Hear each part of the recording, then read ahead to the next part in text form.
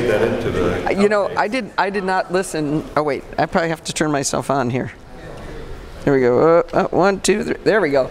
Yeah, no, I didn't watch all the way to the ends credits, so You uh, watch all the way to the end. it's it's not everybody knows this, but I can do live long and prosper with my toes, and so that uh, that is my big claim to fame here, right? This, this is the kind of stuff you miss if you do not watch Road to.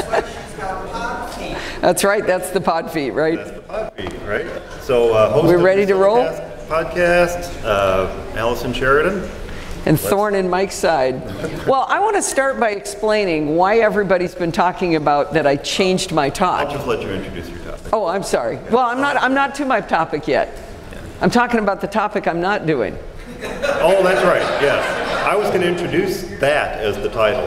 Okay, the topic I'm not actually doing. So everybody thinks that I'm really mean to Chuck Joiner, right?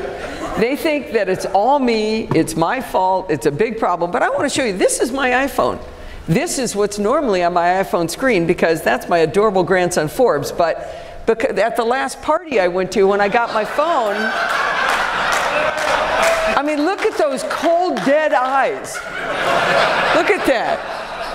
Mean, that's the kind of horror that I deal with.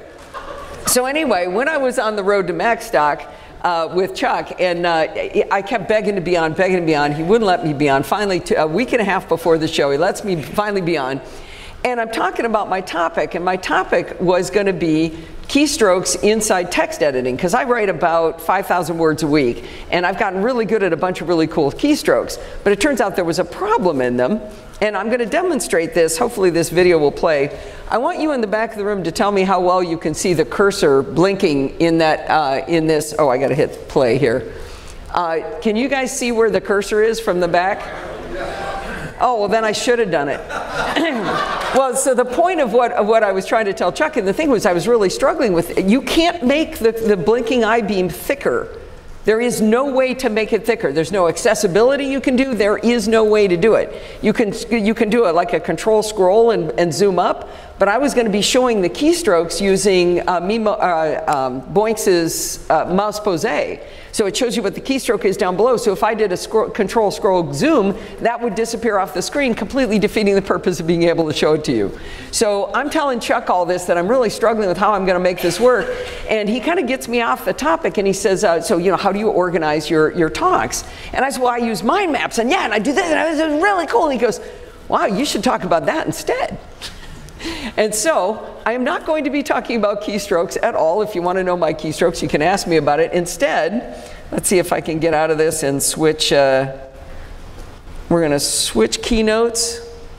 There it is. Instead, we are going to do mind map your way to productivity. So Mike is mad at me because I did this after we he had already printed the schedules. He had to print them again, but it's Chuck's fault. Okay? Does everybody understand? Chuck made me do it. Does he get equal time? I would say no. Sit down. Sit down. One, one lesson. That's why you never surrender your iPhone to somebody else to take a picture. Oh. All right, I will never again surrender my phone. I watched it like a hawk last night, let me tell you. All right, so we're going to talk about mind maps today, and the first thing I just want to bring up is what is a mind map? A mind map is a way of visually creating, uh, getting ideas down and organizing them in order to complete some sort of task, some sort of project you're working on. Um, I'm going to be showing a lot of different uh, views. You're going to see mind maps that look all different colors, and I just want to, I did that on purpose, not to make an inconsistent slide deck, but to make it where you guys could actually tell that you can be a lot more creative than just one way of making a mind map. I'm going to be using iThoughts from toketaWare. This is my favorite mind mapping app. It is by no means the only one out there. I like it because it runs on the Mac, it runs on the iPhone, it runs on the iPad. Uh, I sync it through Dropbox. There's other ways you can sync it. Um, it even runs on Windows. If I mean anybody here might care. Uh, I met a woman this morning who uses Windows, so there she can use it too.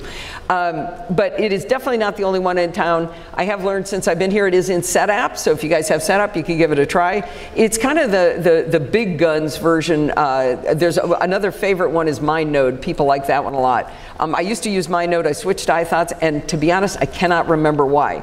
So I was going to do a thing saying why, pros and cons, but I don't remember why. They're both great.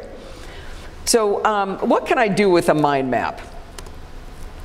The um, first thing you might want to do is plan a talk at, at Macstock. You know, you've got to figure out, okay, I got to, you just throw down ideas. I got to have my topic ideas. I got to decide, am I going to do keynote or am I going to do a live demo? Never do a live demo. It always fails. Uh, plan the flow of my talk. I got to think about which part is my deep dive.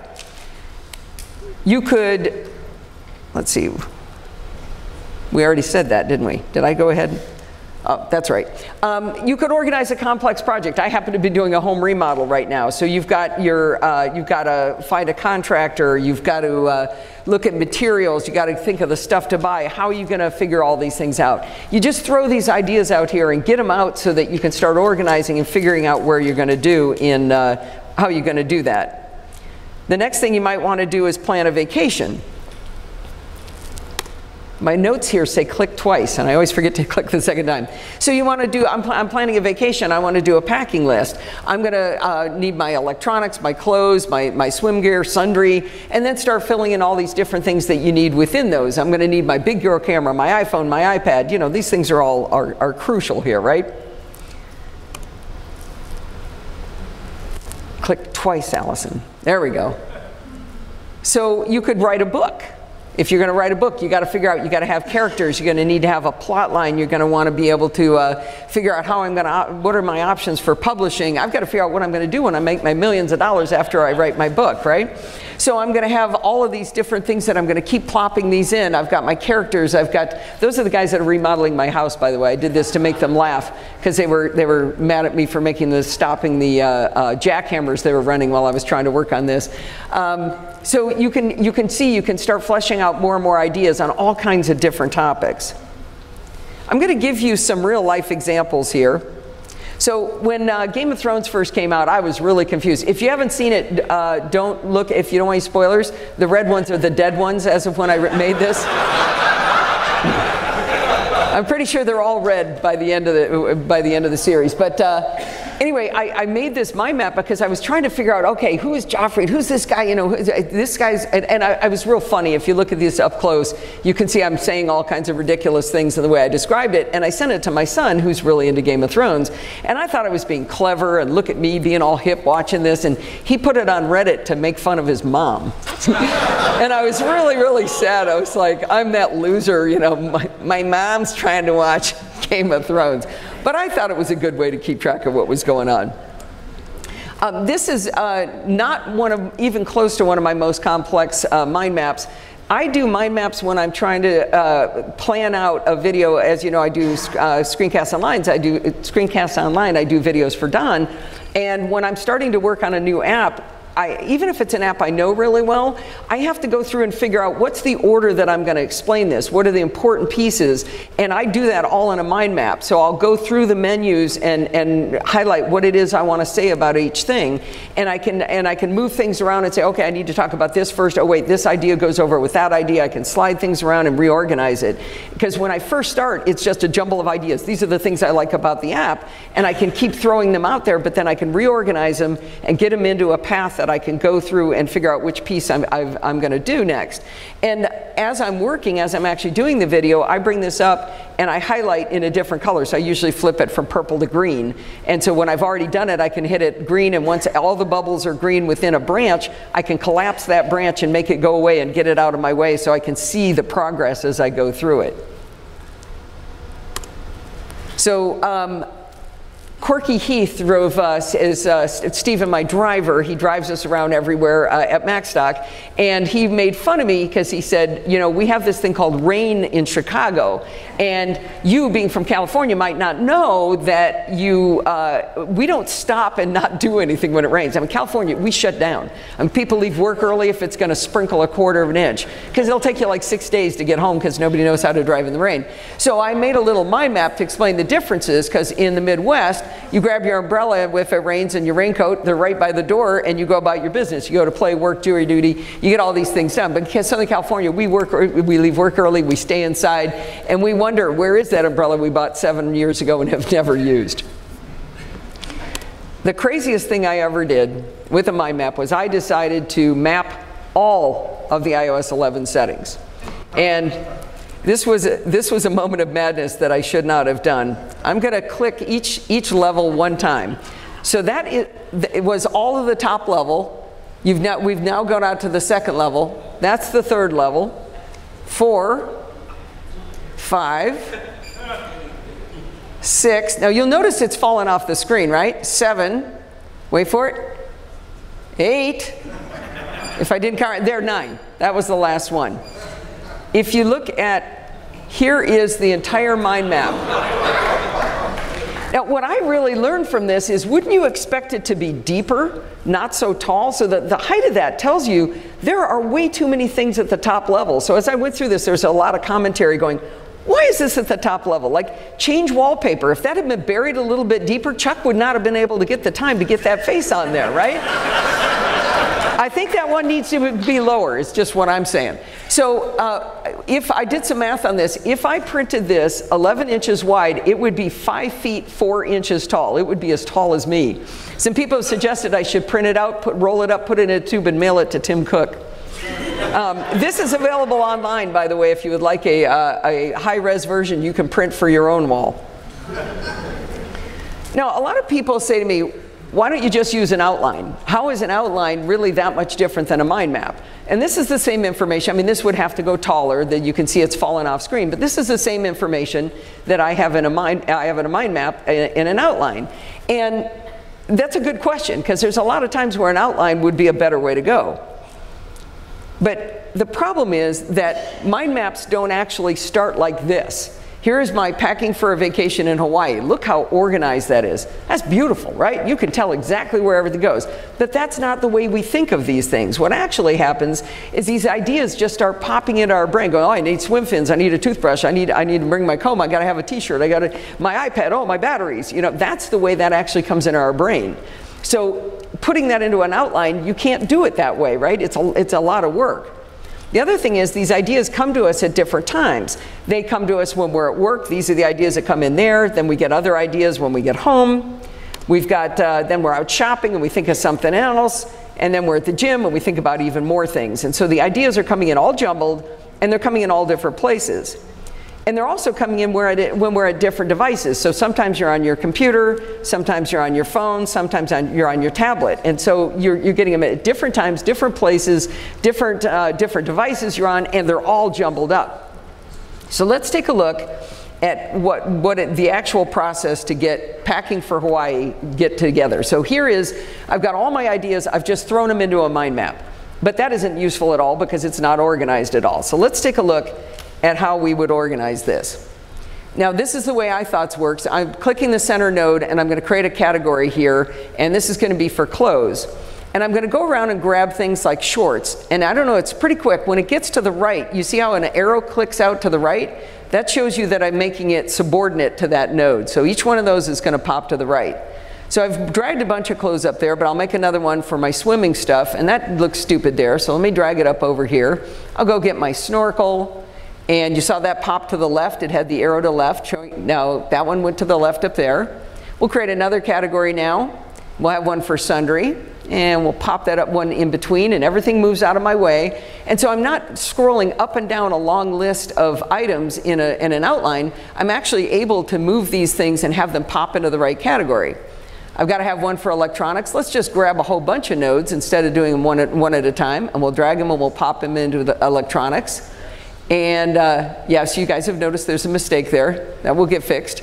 pop those over to the right. Now this, now this is a big mess. I need to move things around to where I can actually see what's going on. I need to add my charger and my cables to my iPad. Gonna get the waterproof case, that goes with my GoPro. Get the memory cards for the GoPro. Whoop, mask is in here, let's get that over, pop it into swimming stuff. This is actually how it works. You just kind of jump around throwing these things together. I've added a couple of things to my big girl camera. And I've got my iPhone, but it also needs a charger and cables. Let me select those. I'm going to copy those. And of course, I'm using Command C, Command V because I'm not an animal. But I just thought I'd show it that way. and now I just pasted it into big girl camera, so I've got the charger there. And oh, I do need a memory card for my bigger camera. Let me copy and paste that over there. Now this is looking pretty good, but it's kind of a big mess. Let me organize that like that. And now, that's what it looks like when it's done.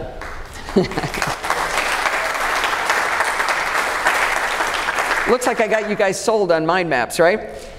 But here's the problem. Where were you 30 years ago? but the thing is, sometimes an outline is better. Sometimes I take my outline, uh, I take my mind map and I want it in an outline when I'm working on, on Screencast Online because maybe I want to put in more paragraphs of text and I want to be a little more detailed in it. Um, but the thing is, you don't actually have to choose between the two because mind maps speak OPML and so do, uh, so do outlines. OPML is the open processor markup language. And uh, David Sparks told me three times yesterday that I had to make sure I gave him credit that I learned this from him. So uh, what, what he explained was that you can round trip between the two, David Sparks, macsparky.com, buy his videos.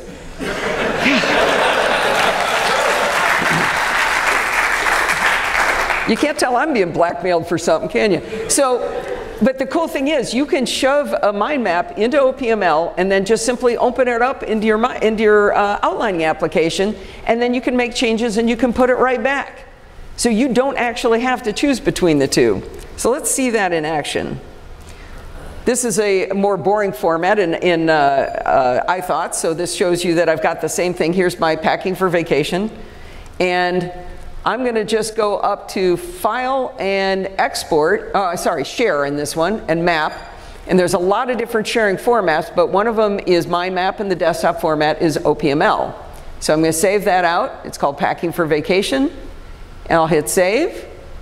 And let me pop down iThoughts. And I've got an application called Cloud Outliner Pro. Very cool. You can get it in Setapp. So I'll say File, Open.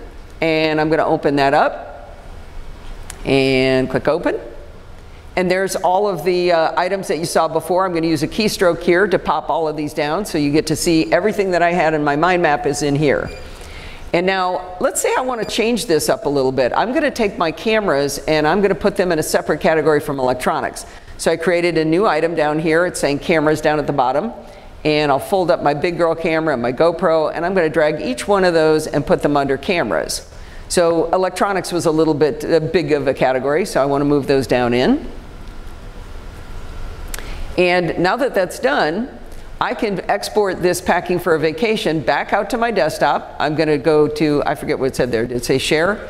And I'm going to change it to OPML. And I've got a mess up on my title here, but I'm, i want to call this V1 so that I can tell it apart from the first one. And I'll click Save. And now I'm going to go back to iThoughts. And this time I'm going to say File Open. And I can simply open an OPML. There's V1. We'll open that up. And there's our mind map. And you can now see that the cameras are separated from electronics. Full circle. Yeah, so you don't have to choose. That's the main thing, right? There is, there is easy to use back and forth, and any, uh, all of the outlining programs, I believe, read OPML. All right, Let's talk about what we're going to do in the deeper dive. By the way, these animations you're seeing in, in uh, of the way these things are growing, that was all done in iThoughts. iThoughts creates these animations of, so you can create slides. It's really cool. I discovered that when I was starting my presentation a week and a half ago. Thanks, Chuck. so I am going to go, let's see. Does it say click twice? There we go. So in, in the live demo, I'm going to uh, I'm going to do a live demo. We'll use iThoughts on a Mac iOS if we have time. I'm going to show you how to create a map, uh, map from scratch. And we'll go through some efficiencies with keystrokes because you can do a lot more with keystrokes. You don't have to click buttons, but you can if you want to. And uh, we'll talk about how you can do search and filters within these when you get really complicated ones like the iOS 11 one. Uh, that's a lot of fun. I can open that one for you guys in the deep dive if you actually want to go through it. Um, we'll look at some of the other export options, and there's a lot of elements beyond text that you can do in, uh, at least in iThoughts. I'm not sure about the other applications, but you can do, uh, it's got markdown support, you can put in graphics, you can have links, you can have photos. Uh, it's, it's really, really powerful. So let's see. There we go. I, oh, I already talked about, oh, elements beyond text. The other stuff, there's color coding. You can add icons. I forgot about those. You can do task management. I don't do that because I don't manage any tasks anymore. Uh, but you can do task management, and I, will show you the animated slide thing is, is super fun. So let's see. Isn't that cool how that animates? I thought that was really nifty. Um, we could definitely do some Q&A. I mean, a lot of people say to me, I've tried to do mind maps, but I just can't get my head around them. And it, anything I can help to try to get you over that hump to help you feel, you know, feel the love for it can be good. Um, you might want to see that OPML thing again, but more slowly. Maybe it was slowly enough. And what was that cool outlining program? Let's see, did I do? Oh, I remembered to hit it twice. And we can talk about some of the other mind mapping apps. I'm curious what mind mapping apps you guys use, if there's some that you really like. There's open source mind mapping apps. You don't have to pay a fortune. They're, they're not all expensive. And we can talk through a few of those. So at this point, you're thinking, I must attend. Where and when is this deeper dive? It is at 1 o'clock today in breakout room 1. You absolutely should be there. I do want to make a shout out to uh, all of the NosillaCastaways that are here. If you've ever listened to the live show, if you've ever been, or the, the, the NosillaCast, especially if you've ever been in the live show, at 12.30 in the uh, lunchroom there, we're going to try to get a picture together. So I hope people will show up. Uh, you can even pretend you listen. I don't care. Make the picture. if there's only like three people, that'd look really bad. No, I know there's actually 12 people from my live show here uh, at the event. Uh, and especially Toby is here for the first time. Wave at everybody, Toby there. Toby is, our, I believe, is now our youngest. Uh, uh, Daniel, you're, you're like old news now, right? You're the, uh, you're the old guy showing them the ropes. And if you are interested in checking out any of my other stuff, I do three podcasts. The NosillaCast, which is mostly me, but also Bart Busschots's doing security bits, great segment. A lot of love for Bart. Yeah, absolutely. Uh, and I have an interview show called Chit Chat Across the Pond Light, which is uh, whoever I find interesting to talk to on the internet, usually of a technical nature of some sort. And then for the heavy propeller beanie types, we've got Programming by Stealth, where we're learning HTML, CSS, and JavaScript in an audio podcast, which sounds ridiculous, but it actually works. Uh, let's see, how's my time? Nobody told me time. Two minutes. Two minutes. Questions? Yes, over here first, then down here. Can you round trip OPML with the Notes app? I don't know. Does Notes app import and export OPML? Yeah, the lists in there, I don't know whether those are real. They're a little more staticky. It'd be interesting to try. If it's got an export, then yes. If it doesn't, yeah, we could try it.